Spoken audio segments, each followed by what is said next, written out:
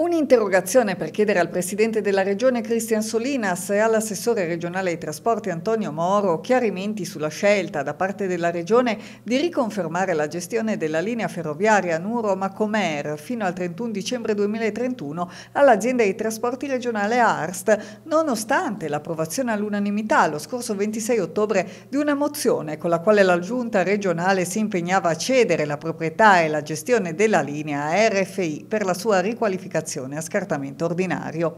A presentarla in Consiglio regionale il gruppo dei progressisti, con le firme del capogruppo Francesco Agus, di Gianfranco Satta e Massimo Zedda. La decisione presa dalla Regione con la delibera del 21 dicembre 2022, secondo i progressisti, che riconferma l'incarico a Arst per altri otto anni, di fatto preclude qualsiasi possibilità di inserire la Nuro Macomer tra le linee di interesse nazionale e quindi di accedere ai finanziamenti previsti dal PNRR e dalla stessa rete ferroviaria italiana.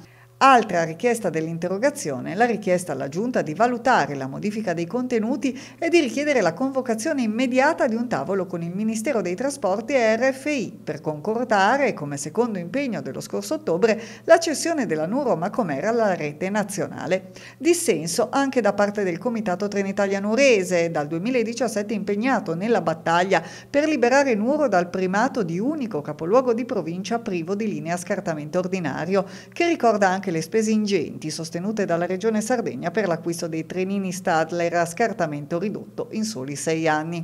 12 milioni di euro nel 2017 e 77 milioni nel 2023. Il servizio, scrive Claudio Solinas, presidente del comitato, sarà identico perché la velocità non è determinata dai treni ma dalla infrastruttura. La spesa è cresciuta senza misure e senza alcuna valida ragione. È inaccettabile.